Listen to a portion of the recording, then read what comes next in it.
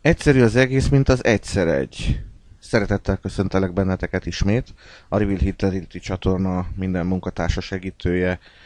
nevében, és mindazok nevében, akik az utóbbi napokban, hetekben döntöttek úgy, hogy kilépnek a babiloni luciferizmus gyakorló kereszténységből, elhagyják azokat, és ezekben az új ismeretekben tesznek lépéseket teljes engedelmességben az Istennel való kapcsolattartáshoz,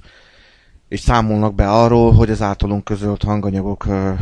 során ezt megértve és elkezdve gyakorolni, milyen ö, érdekes dolgok történtek az életükben, és ezekből azt tudják megérteni, hogy valóság, valójában az ember elkezd engedelmesség útján az Isten felé fordulva, az ő véleményére hallgatni, és az ő tanácsait követni, az Isten elkezd ez miatt foglalkozni az emberrel erőteljesebben. Ebben a hanganyagban a babiloni kereszténységben keresztségnek vagy keresztelkedésnek félrefordított dologgal szeretnénk foglalkozni, amely eredeti szava a görögben, ahol a magyar fordítás a szabadkönyves hamisítóknak köszönhetően keresztséget vagy keresztelkedést fordított, holott az eredeti görög szó, a baptizó szó, ha ezt rendesen magyarra fordítjuk, akkor elmerülést, alámerülést jelent. Tehát ennél fogva láthatjuk azt, hogy hogy Istenünk, Atyánk ennél, ezen keresztül is leleplezi azt, hogy mekkora ö, ö, luciferi ö, hitetésnek és, és csalásnak lett áldozata nagyon sok ember, akik a, a kereszténységgel kapcsolatban állnak, ugyanis a keresztnek nem sok köze van a, a, az Isten dolgaihoz, az Isten, főleg nem az Isten fiával kapcsolatos dolgokhoz. A keresztet az Ószövetségben, az, az Ókorban, főleg Nimrodtól számítva, aki zsarnok, áldász ellensége volt Istennek, és sok-sok embernek a meggyilkolásáért, kifosztásáért és rajta uralkodásért felelős.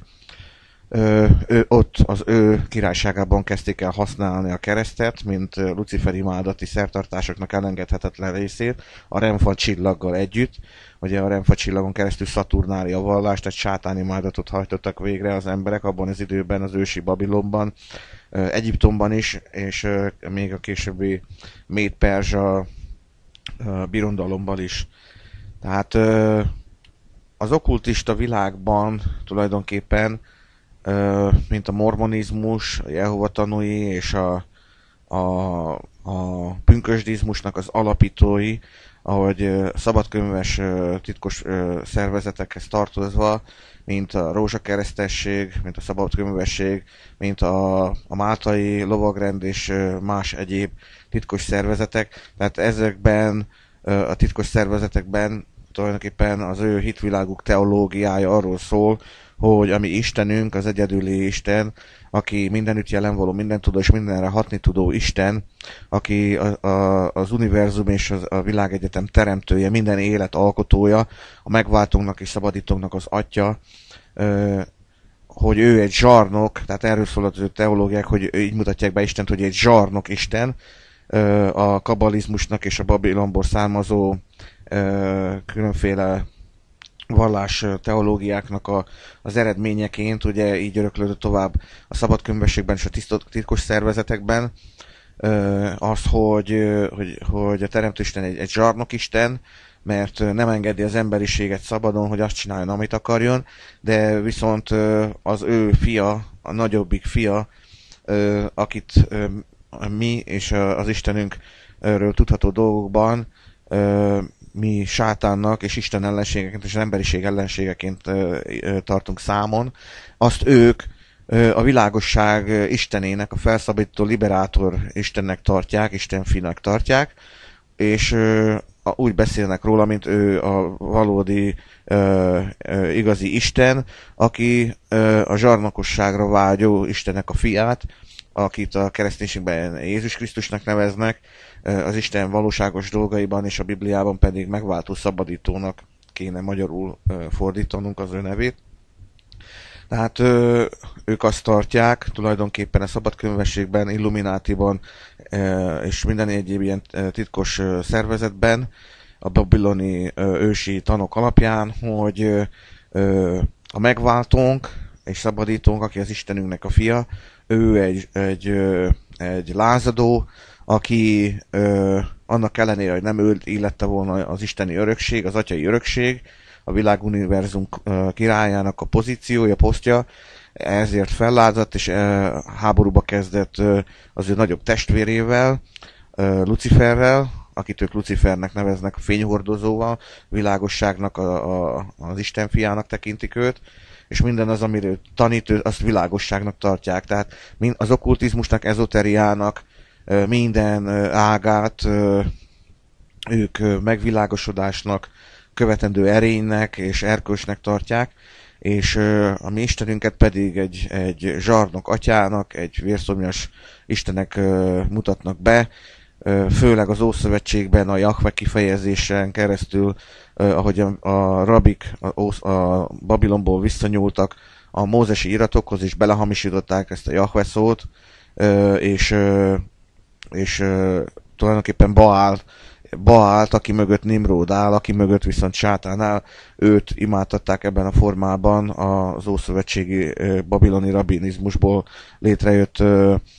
tanítók és, és népvezetői. Tehát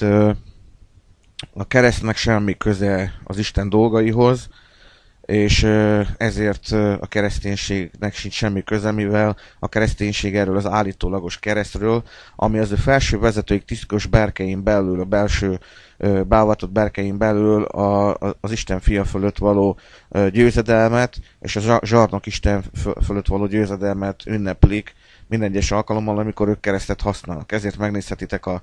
a világban mindenütt, a, a, a, a mozikban, a tévékben, a hírességek, ö, énekesek, sztárok, filmszínészek, ö, filmsztárok ö, és, ö, és fontos emberek mindenhol hordják, viselik a keresztet. Tehát ez nem azt jelenti, hogy ők hisznek a mi megváltónkban, és követendő példának, erőkölcsnek és erénynek tekintik az ő életét, hanem az ő szemükben a kereszt tulajdonképpen az ő reménységük szimbóluma, hogy az emberiséget felszabadíthatják most már az Isten erkölcse alól, amely az ő szemükben gúzsba kötöttség és tiltásoknak a ne továbbja, és az emberiségre zúdíthatják az ő erkölcsüket, az ő romlottságokat, az ő szentségtelenségüket, az ő fajtalanságokat, amiről azt hiszik, azt vallják, hogy aki abban él, az tulajdonképpen felvilágosuttá vált, és sátántól, az ő luciferüktől fog erőt kapni, sikert és jó szerencsét a, a, a földi életben való boldoguláshoz. Tehát ennyire elvetemül tulajdonképpen a, a Babilonból származó elméleteknek a tanrendszere, és a kereszténység is ezt hordozza. Tehát visszatérve az alámerülés, bemerítés témához, a, a, a bibliai értelembe vett bemerítkezésnek több fajtája van. Alapvetően két fajtája van, az egyik a Merítő János által végzett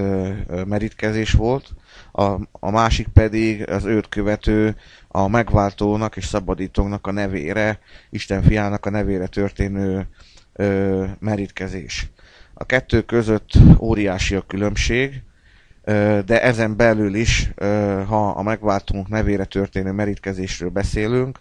itt is két külön merítkezésről kell beszélnünk. Az egyik az az Isten természetébe való merítés, amit a kereszténységbe hamisítottak és Szent Szellem keresztségnek neveznek, teljesen okult módon, sátáni az egész, és a másik pedig a, a tűz, tűzzel, a tűz, tűzzel vagy tűz alá való, a tűzbe való merítés, amit a kereszténységben tűzkeresztségnek neveznek. Ezt a későbbiekben is néhány percen belül szeretnék kitérni rá és elmagyarázni, hogy hogy, hogy is van ez, miben nyilvánulnak ezek a, a merítkezések meg. Tehát elsősorban arról szeretnék beszélni, mi, mi a különbség Merítő János és az Isten fia, a megváltónk, szabadítónk nevére való merítés között. Hát ahogy ezt olvasjuk az írásban, rögtön a János 1.6-nál olvashatjuk, azt mondja az írás, hogy vala pedig egy Istentől küldött ember, akinek a neve János. Tehát láthatjuk azt az írásból, hogy, hogy a János által való merítés, víz alámerítés Istentől volt, mert Isten küldte őt. Egy alkalommal, ahogy emlékeztek rá, biztos sokatoknak most beugrik,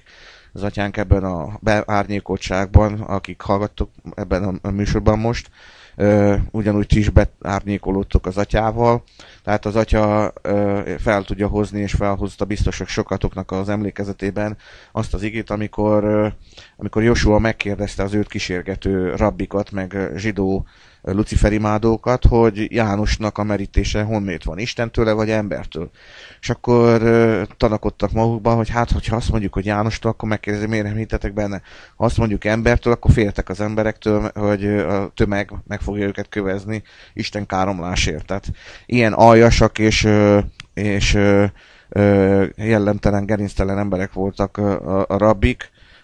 a Joshua idejében, akik uralkodtak az egyszerű embereken, a naív embereken. Tehát látjuk azt, hogy a János által képviselt és folytatott merítkezés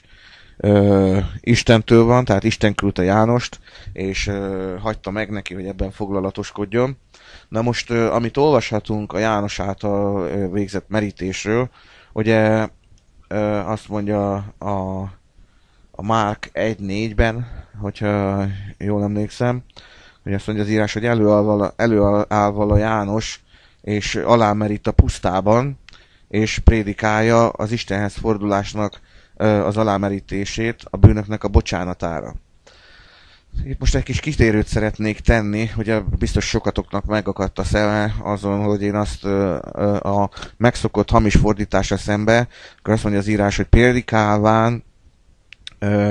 a megtérésnek a keresztségét, tehát én nem ezeket a, hamisított, a, hamisításból fakadó szavakat, fordításokat használtam, hanem visszafordítottam az eredeti görög alapján az itt megfelelően használandó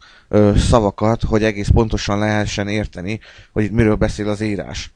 Tehát tulajdonképpen, amikor, amikor bemerítkezésről beszélünk, a János, merít, a János által való merítkezésről, akkor tulajdonképpen azt kell mondanunk, hogy Jánosnak a, merít, a merítése, merítési szolgálata, víz alá való merítési szolgálata, a, a szolgálatát úgy is nevezhetjük, hogy Istenhez fordulás és meggondol, a meggondolásnak a, a, a merítkezése. Ugyanis, ha olvassuk a Malakiásnál, amikor, amikor a Malakiás 4.6-ban jövendől Isten a Malakiáson keresztül a Joshua idejében megjelenő Isten által küldött emberről, Jánosról, azt a, következő módon jellemzi az ő munkásságát Jánosnak. Tulajdonképpen sokan azt is hiszik ez miatt, hogy illés,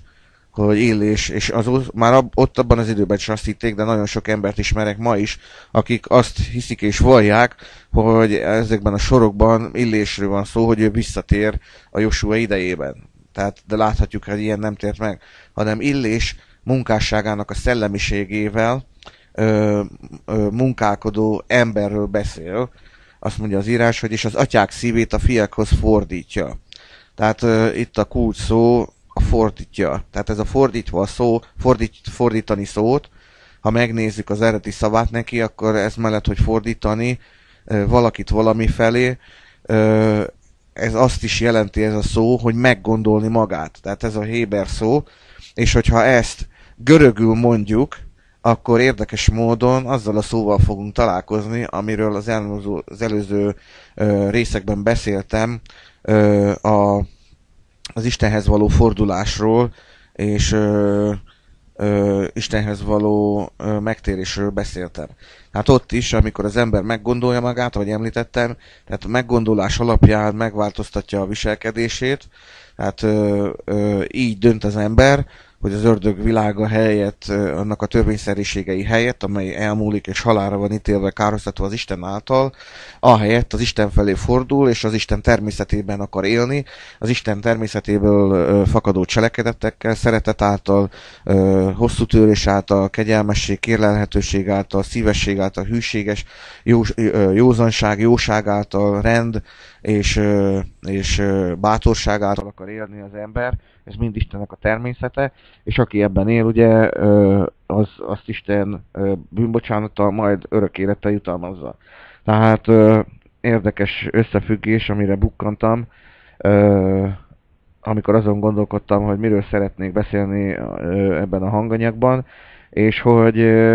hogy a, a merítő Jánosról ebben a proféciában, előrejövendőlésben úgy beszél Malakiás, hogy ő az, aki az emberek gondolkodását megváltoztatja. Tehát tulajdonképpen ö, ö, az embereket az ördög természetéből, az ördög világából való éléstől elfordítja, és, és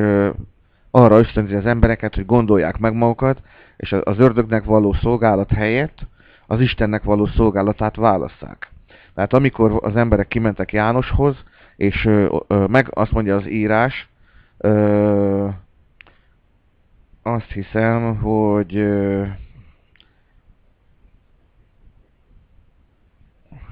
hol is, hol is történhetett ez. Tehát amikor, amikor azt mondja az írás, hogy ö, hát talán Lukács 3.16-nál van, amikor azt mondja, hogy, hogy ö, én ugyan víz alá merítlek benneteket, de eljön az, aki nálam, tehát itt is egy, egy hamisítást fedeztem fel, az itt szereplő görög, görög szó nem azt mondja, hogy, hogy de eljön, aki nálam erősebb, hanem ez a szó azt jelenti, hogy nálam hatalmasabb.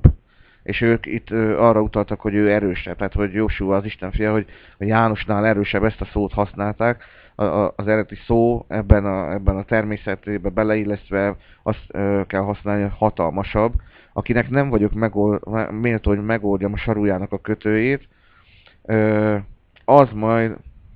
Isten természet alá merít be, és, és tűz alá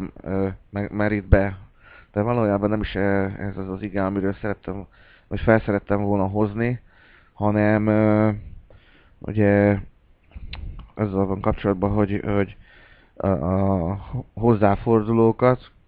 biztos emlékeztek rá, amikor azt mondja, uh, igen, igen, a Mark 1.4-ben van bocsánat, tehát az előzőben, amit említettem, hogy előáll a János, és uh, alá, alá, alámerít a pusztában, víz alámerít a pusztában, és prédikálván az Istenhez fordulásnak a, a, a alámerítését, a bűnöknek a bocsánatára. Tehát látjuk, hogy János, uh, merítő János, az a víz, az a, az alámerítést ö, ö, hirdette az embereknek. Tulajdonképpen itt, hogyha azt mondjuk az alámerítés helyett, vagy a bemerítkezés helyett, hogy Istenhez fordulás, vagy meggondolásnak a, a, a bemerítkezését hirdette, hogy az emberek ugye a bűneiktől forduljanak el, és forduljanak az, az Isten felé, hogy az ő igazságaiban éljenek. Tehát a sátán bűneitől forduljanak el, sátán atyának szolgálva, forduljanak el, és az Isten atyához forduljanak, hogy így a gyermekeivé válhassanak. És azt mondja az írás, hogy, hogy a bűnöknek a bocsánatára, valahol azt is említi az írás, hogy kimentek az emberek Jánoshoz, és azt mondja, hogy, hogy bemerítkeztek János által vallást téve az ő bűneikről. Tehát látjátok, hogy, hogy a János által való alámerítés az az Istenhez való fordításnak a szolgálata volt a, a bűnös életstílusból, az, az ördög természetében való élésből, az, az, a Teremtő Atyának és Istennek az igazságban való élés felé, abban való élésre való ösztönzésnek a szolgálatát végezte ezáltal a bemerítkezés által. Maga az, ez a kép tulajdonképpen is egy allegória, hogyha jól megvizsgáljuk, tehát a víz alá meril, merítés, ez egy allegórikus kép, tulajdonképpen egy cselekedetben megnyilvánuló nyelveken szólása az Istennek. ugye tudjuk az írásból, az Isten szimbólum rendszeréből, rendszereiből azt, hogy a víz az az Isten beszédének a szimbóluma. Tehát Merítő Jánosnál, amikor a János, az emberek eljöttek hozzá, vallást tettek az ő bűneikről, tehát ezáltal tulajdonképpen ők megvallották azt, hogy eddig rosszul, rossz felfogásban az ördögnek szolgálva élték az életüket. És erről vallást tettek, tehát megvallották mindenki előtt a bűneiket hangosan, és ezért, mert meggondolták magukat, és nem elhatározták, hogy ők többet nem akarnak a sátánnak a természetében élni, hanem meggondolták magukat Jánosnak a hívására. Ugye János azt mondja az írás, hogy ő a pusztában kiáltó szó, aki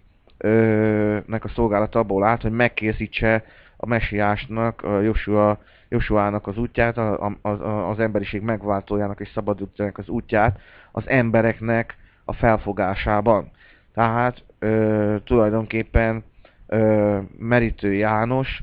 előfutára volt a megváltóknak, és a munkásságával Isten azt akarta elérni, hogy akik őnál, ővele találkoztak, és előfutárként, a Joshua előfutáraként Joshuáról beszélt, a vele való, vele való találkozásról, az ő vele való engedelme, neki való engedelmességről, mert ugyanazt a szolgálatot végezte tulajdonképpen majdnem csak, mint amikor Joshua a 12-ből és a 70-ből maga előtt kiküldött követeket a különféle falvakba, városokba, merő, mezővárosokba, és egyéb, egyéb településekre. Tehát János is ilyen volt, csak ő ő, János közvetlenül az Istentől, az atyától, magától ö, volt elküldve, még a 12-ből és a 70-ből a kettesével a személyeket Joshua maga küldte el. Tehát ö, ők közvetve lettek elküldve Istentől Josuán keresztül. És ö, hát tulajdonképpen amikor, amikor az emberek bemerítkeztek Jánosnál, akkor előtte vallást tettek a bűneikről, tehát ezzel tulajdonképpen kifejezték azt, hogy meggondolták magukat, napvilágra hozták az ő rejtett titkos bűneiket, amiben éltek, ezzel tulajdonképpen fölégették maguk mögött az utat, hogy ők ezt már még egyszer nem követhették el, mert a jelen való emberek látták és hallották, hogy elmondták a, a visel dolgaikat, tehát azokról az emberekről, ezek, akik ezt kijelentették és bűnnek nyilvánították ezeket a dolgaikat, a visel dolgaikat, ezeknek az emberek, akik Jánosnál bemerítkeztek, nagyon kellett ügyelni, hogy ilyen dolgokat többet nem követhettek el, mert a jelenlévők közül nagyon sokan voltak, akik nem voltak istenkövetők, és ö, ők csak arra vártak, hogy az ilyen emberek még egyszer elkövessék ezeket a bűnöket, hogy, hogy bevádolhatóak lehessenek. Hát ők ezzel fölégették maguk mögött az utat ahhoz, hogy visszamenjenek az ördög világába, az ördög bűneiben való élésbe. És és ez a víz alá merítés János által, ez tulajdonképpen annak a szimbóluma, hogy az ember a víz alá kerülve, ugye amikor az ember a vízbe ben van, akkor a víz van az ember fölött. Tehát a víz az Istennek a beszédének a szimbóluma, és ez azt jelenti, hogy az ember aláveti magát, alá merül, alá megy az Isten beszéde alá, és az Istennek a beszédét fogja tekinteni az ő életének a, a, a mérővonalának, a, a, a, az erkölcsi mérőszintjének, és, és erkölcsi támpontnak, hogy mi alapján élje az ember az életét, hogy az Istennek tetsző legyen az ember. Az Isten kedvét leje az emberben. És tehát az ember ezáltal kifejezi azt, azt, hogy én Istennek akarok engedelmeskedni, az Isten beszédének. Tehát akik Jánosnál bemerítkeztek, azoknak nagyon kellett ügyelni arra ezek után, hogy az ő, tehát sok időt fordítani arra, hogy tanulmányozzák az írást, hogy, hogy az Isten beszéde alapján a, a, annak megfelel, próbáljanak megfelelni, és, és a, a, a, az írásból lefektetett igazságokat próbálják megélni. Hogy erre vonatkozóan ők élték az életüket Isten igazságaiban. Tehát ezt jelenteti tulajdonképpen a János által való vízbemerítés, amit, amit nevezhetünk úgy is, hogy a meggondolásnak és az Istenhez fordulásnak a, a bemerítkezése. Látjuk azt, hogy, hogy az emberek vallást tettek a bűneikről, és teljesen nyilvánvaló volt mindenki előtt, hogy ezek az emberek, ezek nem mehetnek már vissza az ördög világába való élésbe, mert napvilágra hozták az ő különféle viselt titokban elkövetett dolgaikat. És tehát ez a János által való vízbemerítés tulajdonképpen azért a víz a szimbóluma az Isten beszédének, és, és a vízbe, hogy alá kell merülni, mert tulajdonképpen az írásba az van meg írva, ugye, hogy szeresd a te Istenedet, tiszteljed őt, és neki engedelmeskedjél. Na most tulajdonképpen ettől elhajolt az emberiség, mert ö, azt hiszem, hogy ö, egy másik helyen, ezt is említettük, ha jól emlékszem a Malakiás 3.7-ben van talán, hogy azt mondja Isten az Ószövetségben a Malakiás 3.7-ben, hogy atyáitak idejétől fogva eltértetek rendeléseimtől. Tehát tulajdonképpen az emberiség ö, megszegte az Istennek a parancsolatját, ami az Ószövetségben a, a Sínai hegyen adott tíz parancsolatnak a, az egyik tétele, hogy tiszteljed a te Istenedet, szeressed minden erődből, minden, ö, minden akaratodból, teljes lényedből, és ö, ettől elhajolt az emberiség, ö, főleg a választott népen belül ö, ugye a zsidóság ö, elfordult az Isten rendelésétől, és ö, ezért küldte be Isten az ő fiát, hogy mindazok, akik, az a kis kevés maradék, akik még megmaradtak az isteni erkölcsbe, Jánosra hallgatva, azokat Josuán keresztül kihozza ebből a babiloni rendszerből, a babiloni judaizmusból. Ez a judaizmus már nem a Mózesféle judaizmus volt, ami az Ószövetségnek a tóráján alapult, hanem ez a fajta judaizmus, ez az áljudaizmus, ez, ez a Babilonban eltanult okkultizmusnak, kabalizmusnak és minden eretnekségnek a, a, a, a megfertőzött judaizmusa volt. És ezt Isten elhatározta, hogy össze fogja dönteni, tehát ö, ö, keresztül ki is jelentette, hogy elhatároztatott Istennél a pusztulás, úgy lesz vége ennek a nemzetnek, a szent helynek és mindennek, mint egy vízezed által, a következő fejedelem népe ő, és ö, ö, meg fogja semmisíteni ezt az országot, a szent helyet, és ugye, ahogy a Joshua mondta, hogy itt kőkövön nem marad, tehát az atyától bárnyékolva előre jövendőlte, hogy Istennek az a végzése, Dánielnek a jövendőlését megerősítve, és a látámasztva az Isten fiaként, hogy Isten elhatározta ezt a, ezt a pusztítást, ezt a végzést, hogy ő felszámolja teljes mértékben Izraelt, elveti őket, mint testi Izrael, és helyére a már készülőben levő szellemi Izraellel fog Isten foglalkozni, és ezen a szellemi Izraelen keresztül, az Eklésián keresztül a babiloni judaizmusból és a babiloni, azt követő, abból kialakult babiloni kereszténységben levő ö, veszteglő embereknek, akiket ebből kihív Isten, ezeknek a csoportja, ez a szellemi Izrael. Tehát ezek az emberek akik megmaradtak Jákob és Ábrahámnak a nyom, nyom követésében, hogy, hogy ugyanazzal az erkölcsel szerették és tisztelték az Isten, tulajdonképpen ö, ők azok, akik ö, ott az, Ósz, az Ószövetség idejéből, Joshua idejében, az 50. napon, ugye ö, ö, 2000-en, majd 3000-en, aztán még néhány ezren, mielőtt a Róma pusztítása eljött volna, Joshua indítatására, kijöttek ezekből az okult vallási rendszerekből. És ahogy ezek az emberek Jánoshoz mentek, ugye betöltötték, tehát visszafordultak az Istenhez, mert megvallották a bűneiket, tehát a, a, a, az ördög természetében és a világának a természetében, a bűn világának és az engedetlenség világának a természetének hátat fordítottak Jánosnak a, a motivációjára, és, és ezt be is mutatták cselekedetben, hogy Istennel ezt az elrontott kapcsolatot, ezt helyreállítják, hogy ahogy elfordultak Isten rendeléseitől, most pedig Jánosnak a szolgálata alapján az ő beszédére, az ő indítatására meggondolták magukat, és visszafordulnak ehhez az elhagyott Istenhez, és megvallották az ő bűneiket, és azt mondta, az, azt mondja az írás, hogy János pedig alámerítette őket a bűnöknek a bocsánatára. Tehát a Jánosnak a merítése a meggondolásnak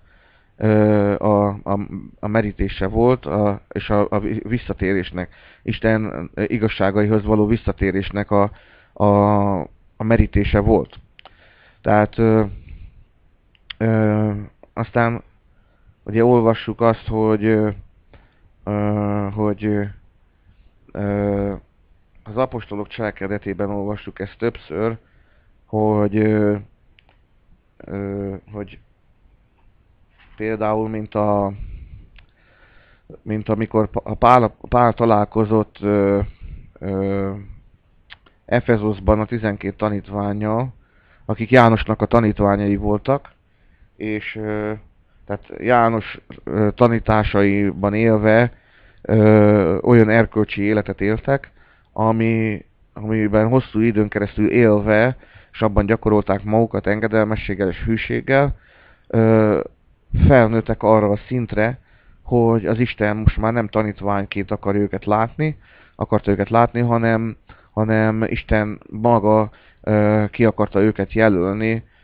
az apostoloszia, tehát a küldött, Isten küldöttjének a, a, a pozíciójába akarta őket állítani, hogy, hogy ők is tevékenykedjenek az Isten vezetése által. És ugye itt olvassuk az írásban erről az eseményről, hogy, hogy, hogy Pál mondja azt a tanítványok, amikor találkozott velük, hogy hát ö, ö, János a, a, az Istenhez való visszafordulásnak a merítkezését végezte és hirdette, hogy ti is erre vagytok bemerítve, de, de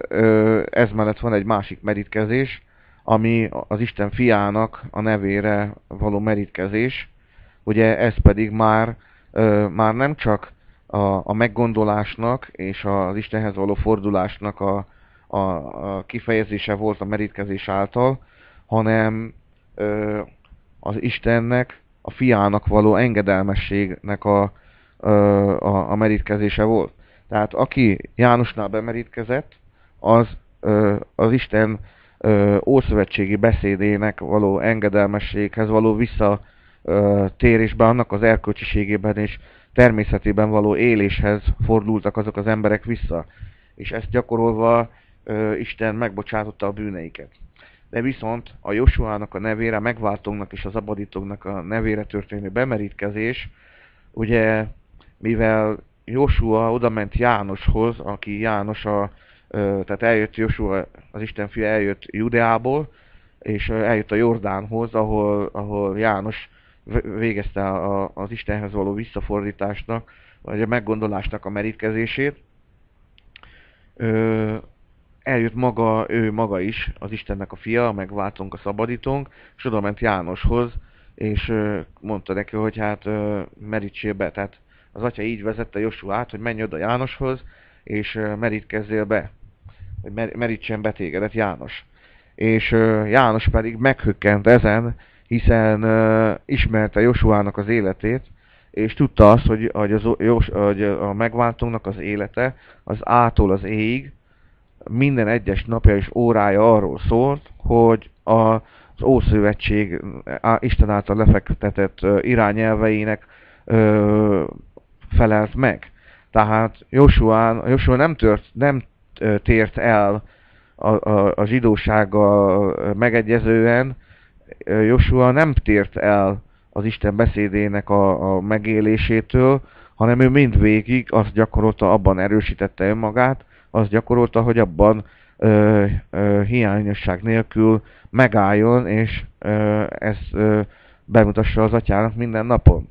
Tehát ezért Merítő János elcsodálkozott, hogy te ugyan miért jössz ide hozzám, hiszen te az Istennek a szentje vagy, tehát uh, Istennek a szentjének lenni, az azt jelenti, hogy az Istennek az igazságaiban élsz, és sátánnak a hazugságaiból pedig attól távol tartod magadat. Tehát ilyen szent életet élsz, az Isten természetében élsz, és a sátán természetét megveted, hátat fordítasz és gyűlölöd. És ö, elcsodálkozott János, hogy miért jössz hozzám, hiszen te soha nem fordultál el az Isten beszédétől, sőt, minden napon nagy erővel azon, azon arra képzed magad, hogy, hogy az Isten beszédének a legmesszebb menőkig megfeleljél, és így butas be Istennek szent és kedves áldozatként az életedet, hogy te ebben élted le, ebben az engedelmességben és szentségben az életedet az Istennek. És ö, erre azt mondta, ugye tudjátok, eszetekbe jut az atyánk főhozta biztos sokatoknak az elméjében, ebben a beárnyékoltságban, hogy ö, mit válaszolt erre a megváltónk. És ezt mondta a szabadítónk, hogy engedj, mert így élik nekünk minden igazságot betölteni, igaz? Mit jelentett ez a, ez a minden igazságot így kell nekünk betölteni kifejezés Josuának? Ugye azt jelenti, a 2 Mózes 20.12-ben szól ez, a 10 parancsolatnak az első, szinte az első ö, ö, nagy mondata, hogy tiszteld a te atyá, tiszteld, a, szeresd a te Istenedet, és a másik parancsolat pedig tiszteld a te agyá, atyádat és anyádat. Tehát Josuának azt kellett bemutatni, azért ment Jánoshoz bemerítkezni, mert ugye János az Isten igazságaiban való élésre ösztönözte az embereket, hogy forduljanak a bűnben élő emberek az Isten igazságai felé, és Joshua pedig azt fejezte ki az ő bemerítkezésével, hogy ő tisztelni és szeretni akarja az atyát. Tulajdonképpen ez a tiszteled a te atyádat és anyádat, tehát itt is a, a tisztelet szó ö, nyugodtan be lehet helyettesíteni engedelmességgel, mert ugye az Isten csak úgy lehet tisztelni, hogyha ha engedelmesek vagyunk az ő kérésének és felszólításának. És így lehet csak egyedül bemutatni az Istennek azt, hogy valaki szereti az Istent, hogyha a leír beszédével azt mondja, szeresd a fele barátodat és embertársadat, és te szereted azt és segítesz neki, ö, ö, stb. ezerféle mód van rá, hogy hogyan tudjuk szeretni az embertársainkat, és ha valaki ebben él, akkor az bizonyítja, hogy, hogy aki szereti az embertársát, akit lát, akkor az, ezen keresztül szereti az Istent, akit nem lát. Értitek? Tehát az Istennek a szeretése az Istennek a tisztelésével egyenlő, és az Istennek való engedelmesség ugyanúgy egyenlő az Isten tiszteléssel. És ö, tulajdonképpen erre utalt Joshua, amikor Jánoshoz ment, és akkor mondta neki, hogy hát, hogy ö, ö, ne óckodjál ettől, hogy én idejöttem hozzád, hogy meríts be, mert így, így kell betölteni minden igazságot. Tehát Josuának a bemerítkezése János által nem a, a, az Istenhez való visszafordulásnak a merítkezése volt, hanem ugye mert Josua nem ért az, a sátánnak a, a bűneiben, a sátánnak a, a, a, az engedetlenségében, hanem ő mindig az Isten engedelmességében élt, az Isten természetében ezért valójában Josuának nem kellett volna menni Jánoshoz, de viszont mivel hogy a víz az Istennek a szimbóluma, és, és más nem volt, aki ezt a foglalatosságot végezte volna, ezért egy másfajta értelmet kapott Josuától fogva a víz alá való merítés. Tehát ahogy a Josua bemerítkezett, és ezzel azt jelentette ki, ezzel a bemerítkezéssel, hogy, hogy a víz az Istennek a szimbóluma, és én alá megyek a víz alá, tehát az Istennek a beszéde lesz az én vezérelvem, ugyanis az Isten beszédében van leírva az Istennek az akarata, és a Zsoltárokban, ha jól emlékszem, az van megírva Josuáról, azt mondja, hogy a könyv tekercseiben írva van felőlem a bejövetelem előtt, az van az én keblem közepette, az az én akaratom, zárójelbe, hogy a te akaratodat cselekedjem, ó Isten. Tehát látjátok, Joshua ezzel, hogy bemerítkezett, ezzel ő azt fejezte ki, hogy az ő atyának akar engedelmeskedni minden körülmények között. És mivel, hogy Joshua betöltötte az engedelmeskedését az Isten írott beszédének, ezért a Jánossal való találkozásnál és a János által való bemerítésnél Joshua ö, kifejezte azt, hogy ő az atyának fog most már az írás mellett engedelmeskedni. És tehát ez annak a szimbóluma, hogy az atya azért küldte oda Josuát Jánoshoz, hogy bemerítkezzen, mert az atya, a, a, a körüllevő emberek, akik ezt figyelték, hogy mi történik, az eseményeket, az emberek megérthették azt, hogy ettől fogva Joshua nem, olyan, nem úgy visel, fogja élni az életét, mint azok az emberek, akik most János által visszatérnek az Istenhez, és kezdik erről az, erő, az életüket az Isten elkölcse szerint, hanem, hanem tulajdonképpen Joshua már a tanítványságból, ugye ő egész 30 éves koráig az Istennek a tanítványa volt, a Mózesnak a, a, a, az iratainak a gyakorlásán keresztül. Mi, és mivel, hogy ő az életében beteljesítette a Mózesnak a, az utasításait, amit Isten utasított Mózesen keresztül, ezért ő, ő elért arra pontra az életében, hogy már nem tanítvány volt, hanem Istennek a küldötte, küldötte Istennek a, a, az elválasztott ö, ö, közvetítőjévé vált. És ezzel, hogy ő bemerítkezett, ezzel viszont az mellett, hogy a víz alá merítette magát, és hogy így a víz alatt volt, és a víz volt felette, tehát ezzel kijelentette azt, hogy mind a mellett, hogy továbbra is az Istennek a beszéde és annak az ismerete a, a cselekedeteimnek a meghatározója, de ez mellett már egy új ö, stádiumba lép az életem és a munkásságom, ettől fogva nem tanítvány vagyok, hanem az Istennek a küldötte vagyok, apostolosza vagyok, tehát egy bizonyos értelemben ö, apostol, is, ö, apostol is lett ö, és ö, közvetlenül az Isten most már nem íráson keresztül beszélt hozzá, hanem az atya fölötte lebegve, és írja is, éppen ezért írja az írás, miért volt erre szükség, erre, erre a jelenségre, hogy az atya leszállt rá és bárnyékozta Josuát, és a kívülállók szemében ez úgy tűnt, mint hogyha valami, mint hogyha valami madarat láttak volna leereszkedni, mint egy galambot láttak volna. De ez írás azt mondja, hogy, hogy mintha. Tehát, e, e, egy, hogy, hogy biztos nem galamb volt, az ezer százalék,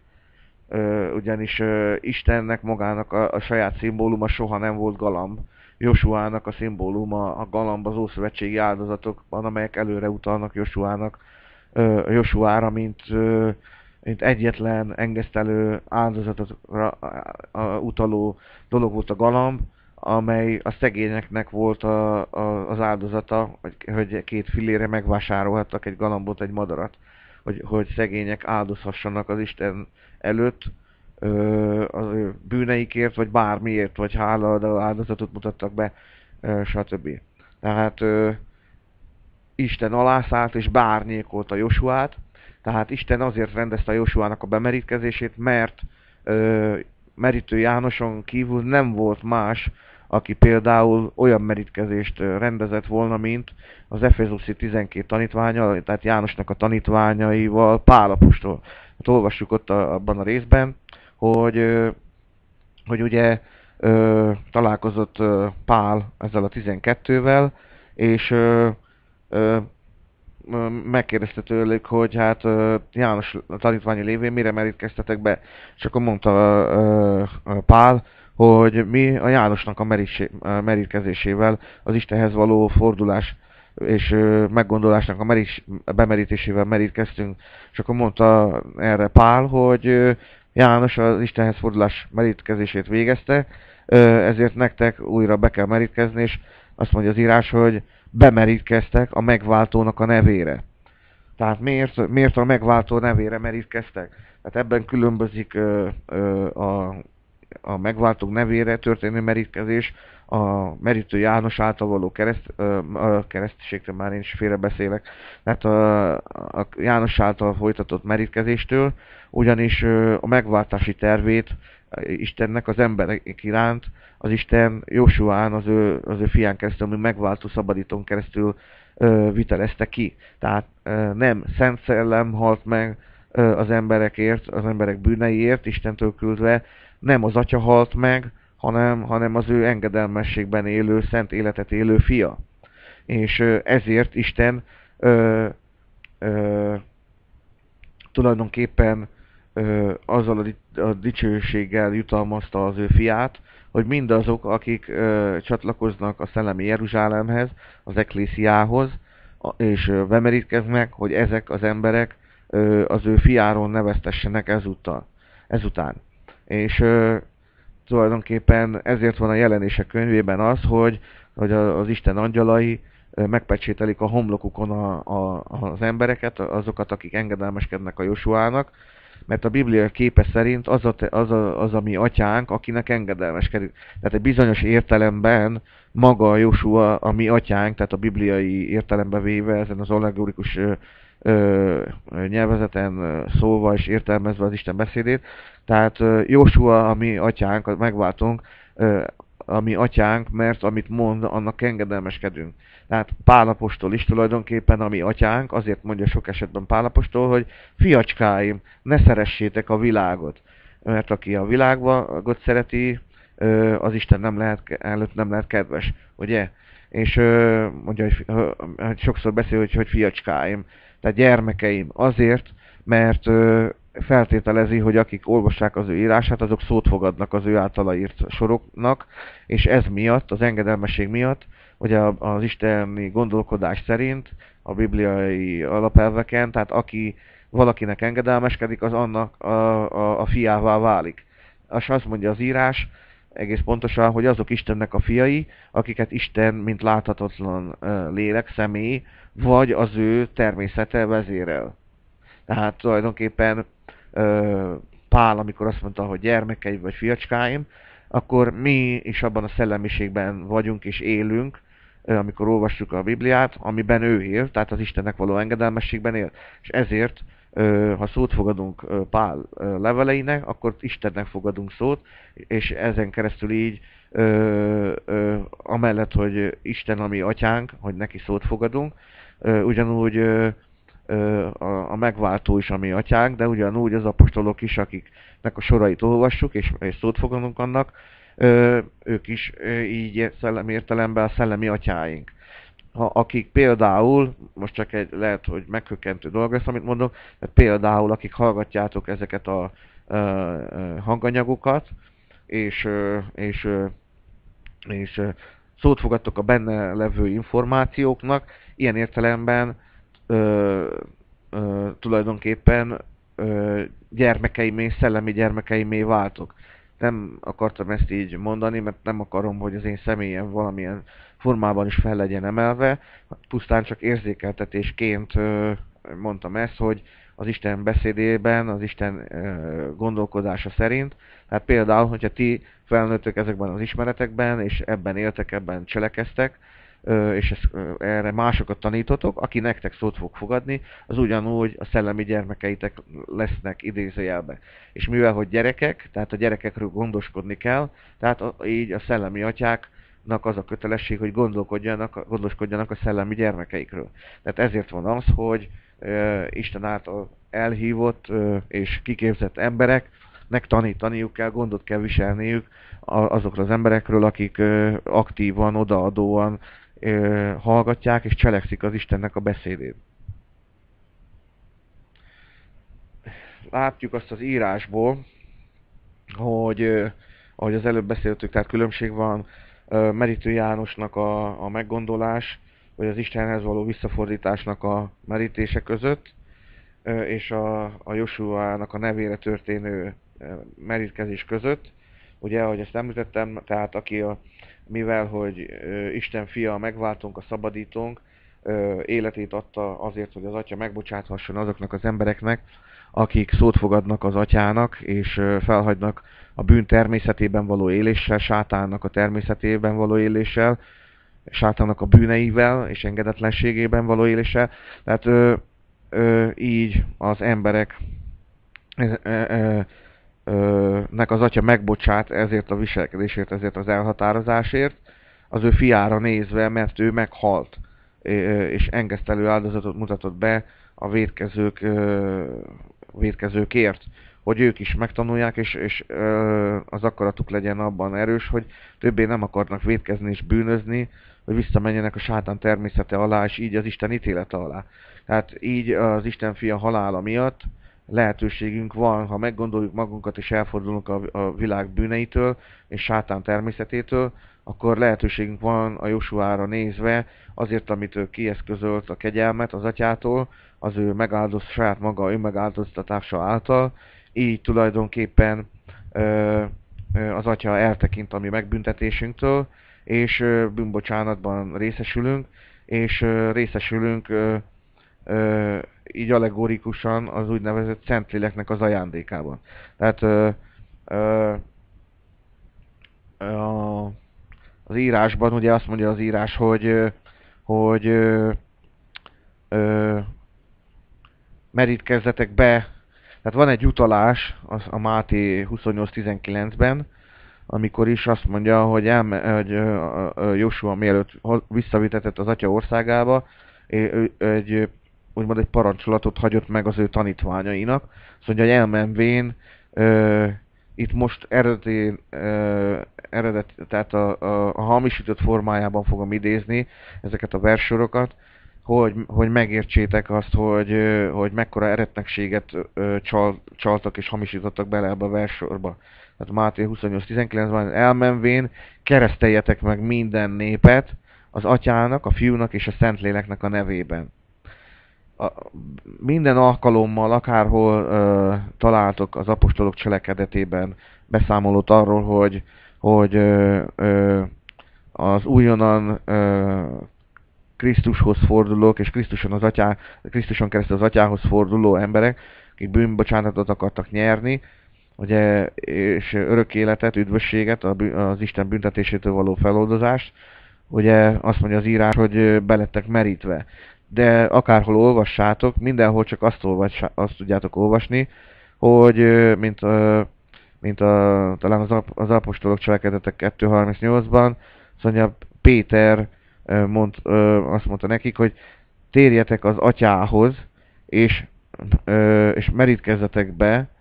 mindannyian a megváltó szabadítónak a nevében. Tehát a, a szabadkönyves fordítás azt mondja, hogy hát a Jézus Krisztusnak a nevében.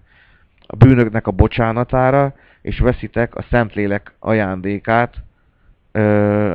az örö, és ö, tulajdonképpen itt is egy óriási csalás van, mert erre hivatkozva, hogy veszitek a Szentlélek ajándékát, itt ö, az emberekkel azt hitették el, hogy a, Szentlél, Szentléleket az Istentől, mint ajándékot ö, fogunk kapni, meg, e, meg az Isten, tehát a Szentléleknek, Szent Szellemnek az ajándékait fogjuk kapni. De itt az írás nem azt mondja, hogy a Szent Lelket kaptok, mint,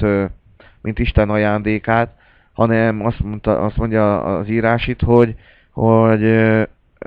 a Szentlélektől kaptok ajándékot, tehát Isten maga láthatatlan formában ez a Szent Lélek, és az ő ajándéka az a bűnöknek a bocsánata. Tehát azt mondja az írás, hogy ha a Josua nevére, a megváltó szabadító nevében bemerítkezel,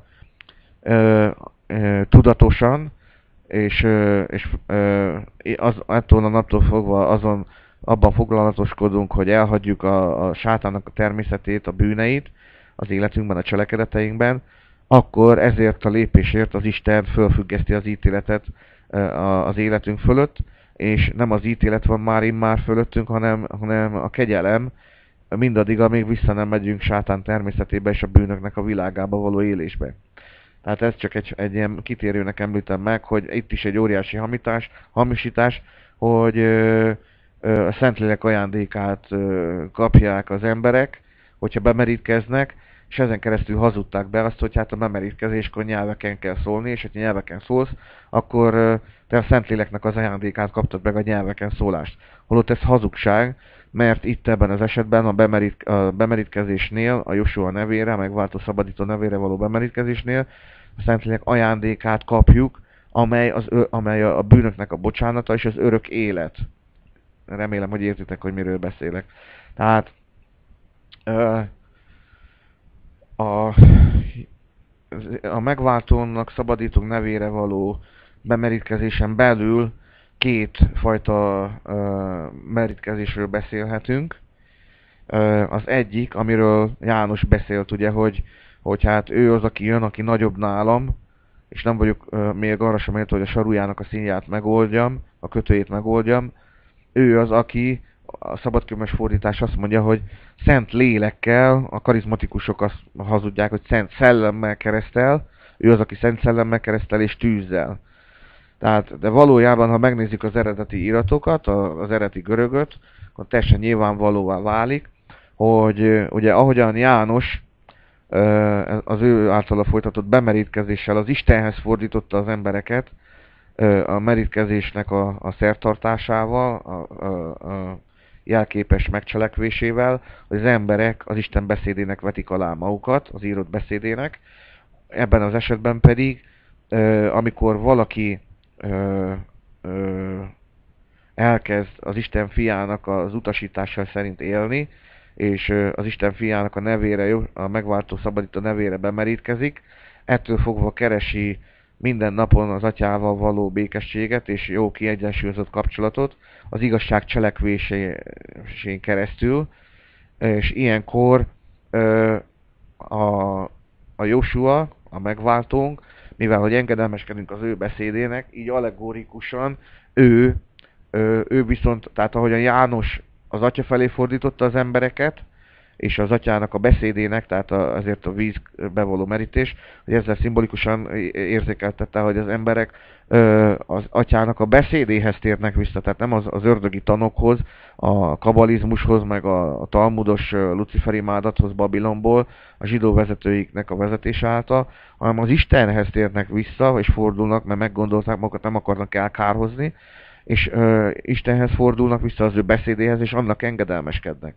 Itt ebben az esetben viszont azt mondja az írás, hogy, hogy az Isten fia, a szabadító, megváltó szabadító,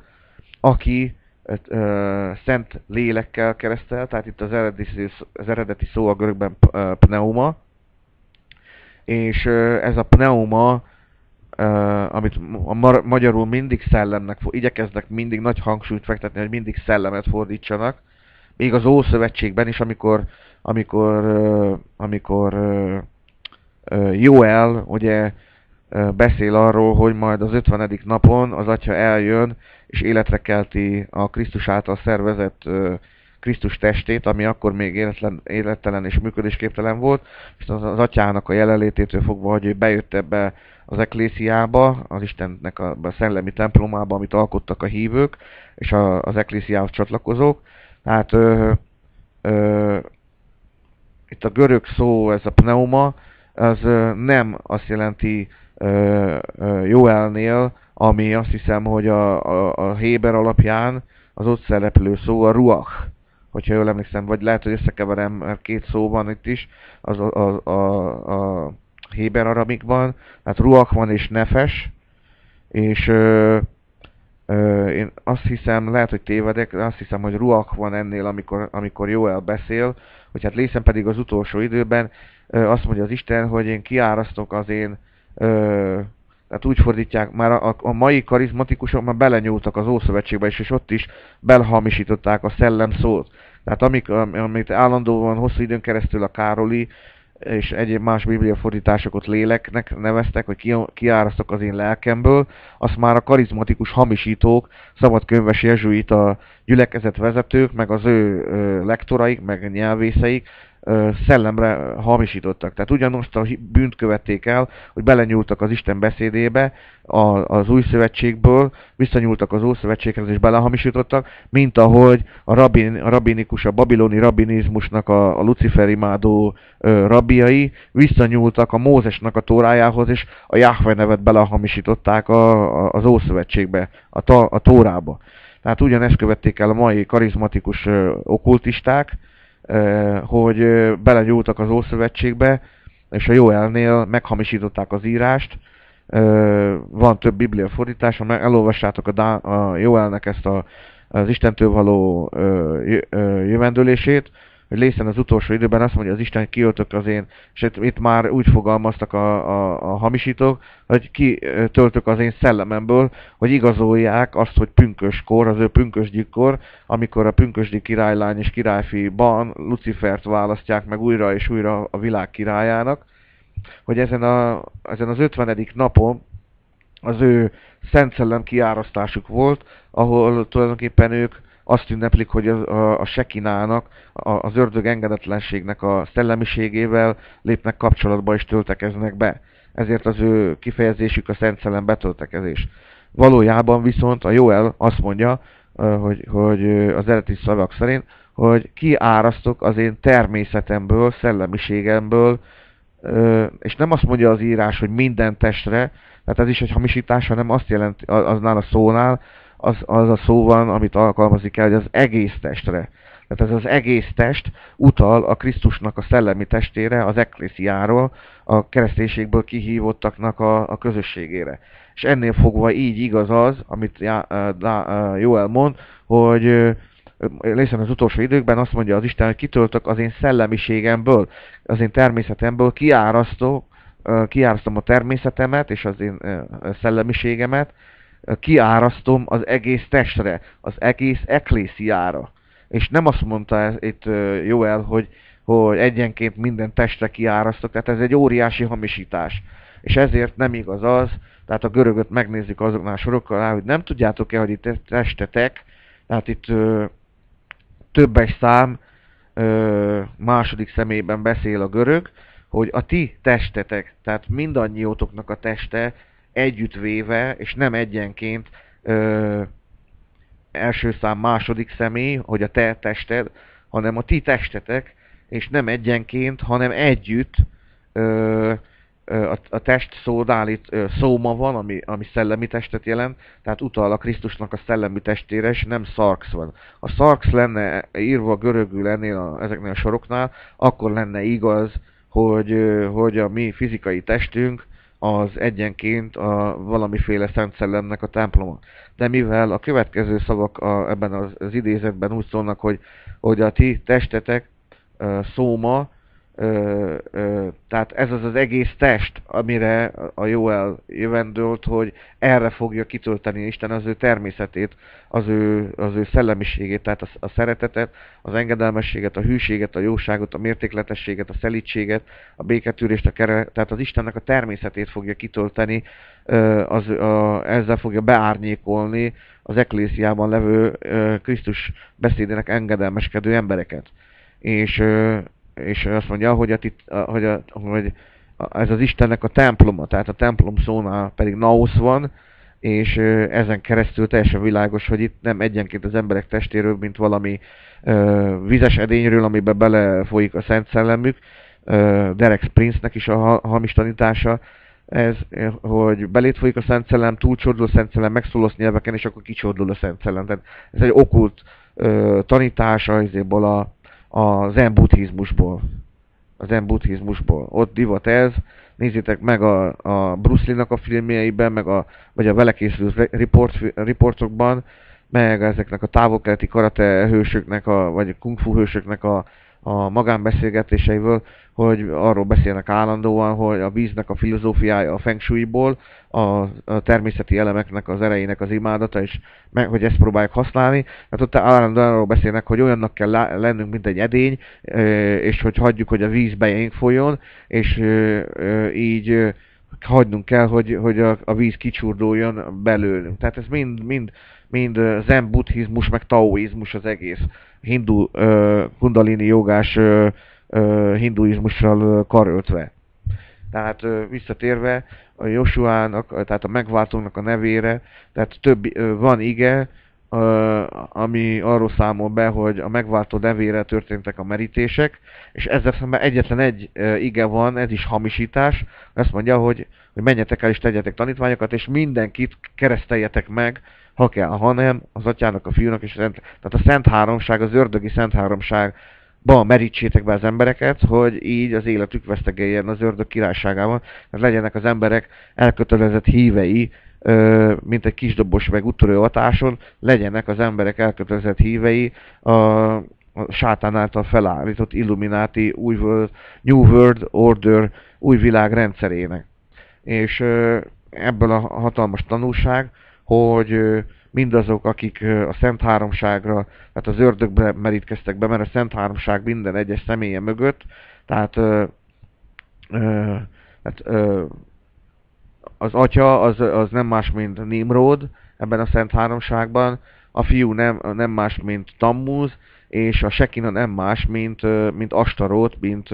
Istár, vagy Nimrod felesége Semiramis és ezek mögött, a személyek mögött, mint három mögött Lucifer húzódik meg, tehát az, a, amilyen természete volt ö, Szemiramisnak, ez a varázsló, ö, ö, bevádolós, hamis tanúzós, ö, mindenféle trükkökkel és ö, mindenféle ráhatással való, varázslással való tevékenykedés. Tehát ez, a, ez az egyik természete az ördögnek, amivel operál az emberek közösségében, meg gyülekezetekben, politikában és pénzügyekben, a másik pedig Nimrodnak a, a könyörtelen, azonnal lesújtó, azonnal statáriális ítéletet hirdető, azonnal kivégző, meg nem bocsátó, vérszomjas istenképet csinált a sátán, és az ő fiúk ugye ö, ö, Tammuz, ö, amit lehet Tammuzról olvasni, tehát ezzel próbálják meg beazonosítani a, a, a, az ő, tehát a Jézus Krisztusukat. És ettől el kell szakadni, mert aki, aki Szent Háromságban merítkezett be, az tulajdonképpen nem Isten fiának való engedelmességre merítkezett be, hanem a, a gyülekezetekbe, a kereszténységbe, a Szent Háromság tanaiba merítkezett be. Jézabelnek az okult tanításaiba, Bálámnak a pénzért való hazugságaiba, és a Nikolaitáknak az egymáson való uralkodás és kontroll rendszerébe merítkezett be az ember, hogy eznek fog engedelmeskedni. És ezt a bemerítkezést semmisé kell tenni, mert azok az emberek, akik a Szent Háromságba való bemerítkezésben maradtak, azok el fognak kárhozni, ha ki nem jönnek belőle. És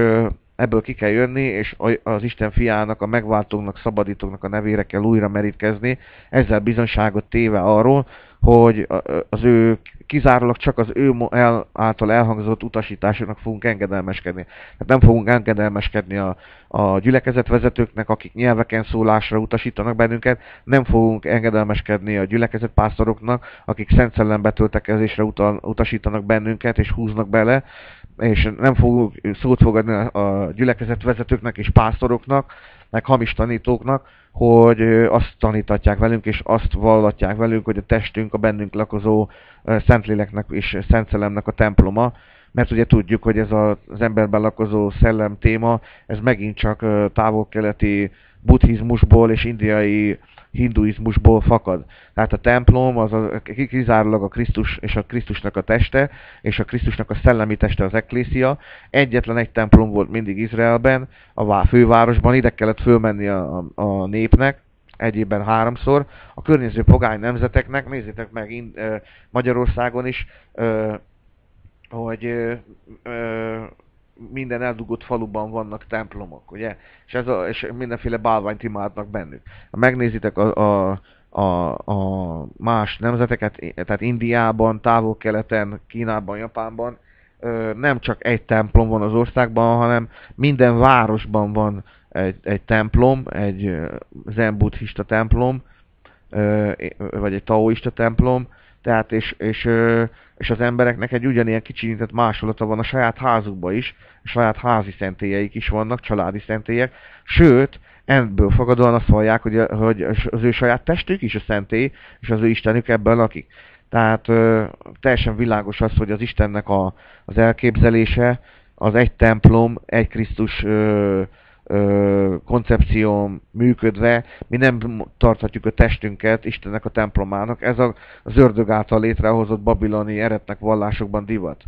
És ebből ki kell jönni, mert aki azt meri mondani, az ő teste bármiféle uh, istenségnek vagy szent uh, szellemnek a temploma, ezek az emberek káromolják magának az Isten fiának az életét. Ugyanis egyedül Isten fia az, aki Isten templomának volt nevezve. Ezt a titulus senkit sem kaphatja meg a Földön mert senki más nem halt meg az emberek ö, felszabadításáért, és az embereknek a, a bűnbocsánat lehetőségért, hanem egyedül csak a Krisztus, a megváltónk, a szabadítónk. Tehát ö, a, a megváltónk nevébe való merítkezéssel tulajdonképpen azt fejezzük ki, hogy ö, az Isten beszéde mellett ami megváltónknak és szabadítónknak az elmondott beszédeit igyekszünk megtartani az életünkbe, és azt követni, és azt megcselekedni. Tehát ez, ez az Isten természetében való bemerítés, amit a, a, a katolikus, protestáns karizmatikusság Szent Szellem keresztségnek nevez. Tehát ilyen az Isten koncepciójában nincs, ez egy, ez egy hazugság, egy babiloni rejtett okkultizmusnak a tana.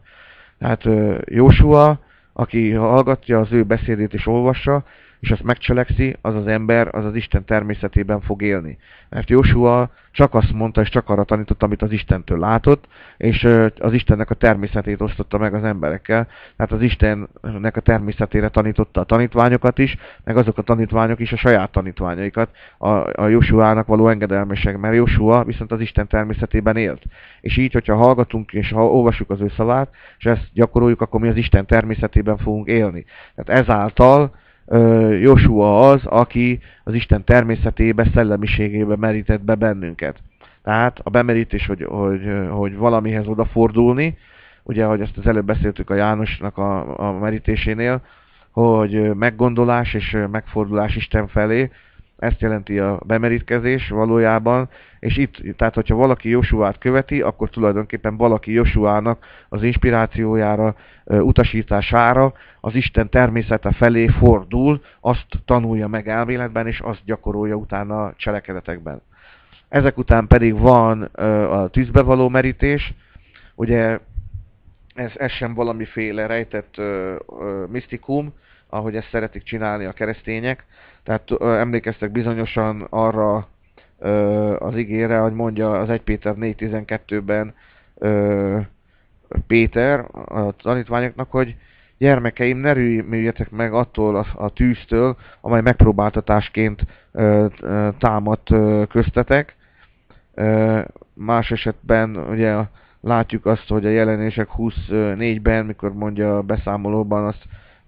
Jánosnak a Pátmos szigetén, azt mondja, hogy láttam azoknak a lelkeit az oltár alatt, akiknek fejét vették a megváltó bizonságtételért. Tehát ö, tulajdonképpen a, a, a tűz ö, alá való merítettség, vagy a tűzhöz való fordítás, tehát a tűz az, az, az írásban az a megpróbáltatásnak, a nehézségeknek és az üldöztetésnek a szimbóluma. Tehát, ö, ö, ahogy mondta Joshua is az utolsó alkalommal, az utolsó este előtt, hogy, ö, hogy hát add meg nekünk, hogy a, a te országodban jobbod és bal felől, felől üljünk, és, és ítélkezhessünk, és akkor Josul meg azt kérdezte tőlük, hogy hát megihatjátok-e a poharat, amit én megiszom, és bemerítethettek-e azzal a merítkezéssel, amivel én merítetem. Tehát ő itt a tűz, tűzbe való merítésnek a, tehát erre gondolt ezzel az allegórikus kérdésével, és akkor mondta nekik a tanítványok, hogy megihatjuk a, por, a poharat, igen. És, és meg bemeríthetünk azzal a merítéssel, amelyel te fogsz bemerítetni, ahogyan az életed végezni fogod, ugye? Tehát az üldöztetés és kivégzés és stb. stb. nyomorúság, nehézségnek a, a merítkezése. És, és akkor mondta nekik Jósua, igen. Tehát megihatjátok a, a poharat, tehát ez azt jelenti, hogy, hogy szenvedhettek ö, a vallási vezetőknek az üldöztetésétől és kínzásától, ahogy én, engemet is meg fognak kínozni, és, és bemerítkezhettek azzal a merítkezéssel a tűz, amit a keresztények tűzkeresztségnek mondanak, tehát itt az eddig görögnek a fordítása pedig, hogy, hogy tűzben való be, tűzbe való bemerítés, ami ugye a tűz azt mondja, hogy hát, a, ahogy Péternél mondja, hogy hát a próbatételeknek a, a tüze, a megpróbáltatásnak a tüze, hogy kikristályosítsa az ember életéből a Krisztus követőnek az életéből az atya különféle problémákon keresztül viszi őket, nehézségeken, és ebben ugye egyre állhatatosabbak lesznek, egyre kitartóabbak lesznek, egyre hűségesebbek lesznek az Istenhez és az Isten fiának a beszédéhez, ugye kérlelhetőek lesznek, szelédek lesznek, a rendnek és a fegyelemnek lesznek a követői, nem mennek a kavalkádnak, zsibvásárnak, és pöcegödörnek, amit a gyülekezetekben mutatnak ma, hogy őrjöngenek, üvöltöznek, mint az állatok, az, az, az, állatok, az általuk Isten tiszteletnek nevezett zsibvásáron, tehát ez, ez minden csak nem normális dolog. És ö, ugye így tisztítja az Isten az ő népét, ö, ahogyan az aranyat a, a, a tűzben tisztítják, a, a, a kemencében, úgy tisztítja Isten is ö, megpróbáltatásnak a nehézségeivel, ö, tisztítja ki az övéiből az ördögnek a természetét, hogy még alkalmasabb legyen az Istennek a gyermeke, az ő természetében való járás által még alkalmasabb legyen, hogy ő még nagyobb mértékben használni tudja azt az embert a, az ő saját maga tervében.